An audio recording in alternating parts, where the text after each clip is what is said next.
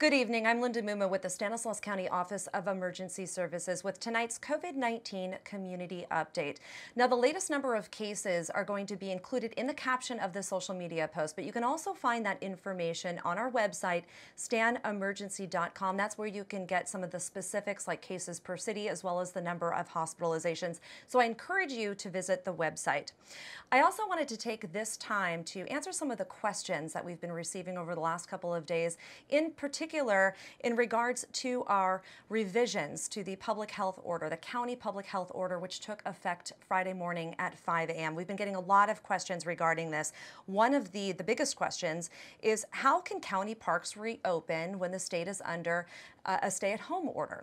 Well, the answer to that question is the California stay-at-home order does allow for parks to reopen, but it does leave it up to individual counties and individual cities to make that determination based on the information that they have available to them in their specific areas. Now, this week, Stanislaus County revised its public health order to allow for a limited reopening of playground structures, sport courts, dog parks, fishing areas, and county waterways for the purpose of boating and watercraft use. And these are all areas managed by the County Parks and Recreation Department. And while the new order does allow for city parks to also partially reopen, Every city is making its own decisions based on staffing levels and other factors. So while county parks may be partially reopening, city parks may not be.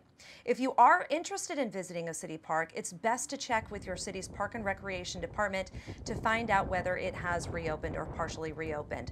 Another question that we're getting from the community is what exactly is open at county parks? When I talked with Stanislaus County Parks and Recreation Director Jacqueline Dwyer on Thursday, she says that the parks are still closed to large gatherings, but says you and your immediate family can shoot hoops. You can also play a round of tennis or toss a football or frisbee around as long as it's with people within your own immediate family and you aren't sharing any equipment with anyone outside your immediate family.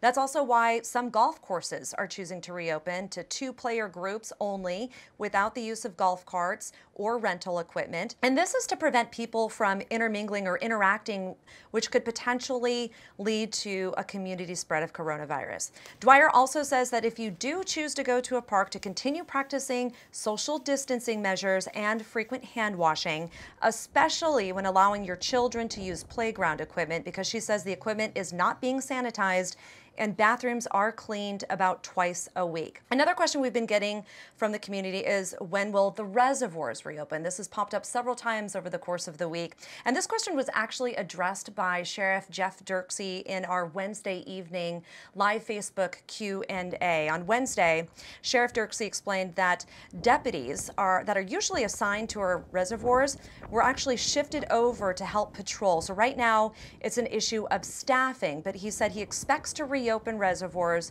within about a few weeks. Now, I wanted to explain the idea or the concept behind some of these revisions.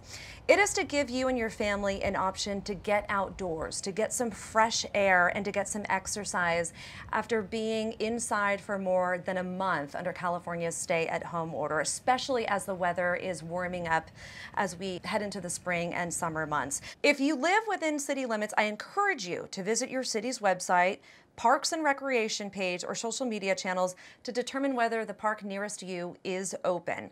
I also encourage you to tune into our Wednesday live Facebook Q&As. That is an fantastic opportunity to ask questions and get answers to your questions as well as other updates on Wednesday nights. And we do our best to answer your questions. If we don't get to them, since it is a limited time, we will answer them throughout the week as well. In the meantime, if you can take a walk or a bike ride in your neighborhood or around the block, I encourage you to do so as the weather is beautiful this weekend. So enjoy the weather out there and we'll see you again tomorrow night at 6 o'clock.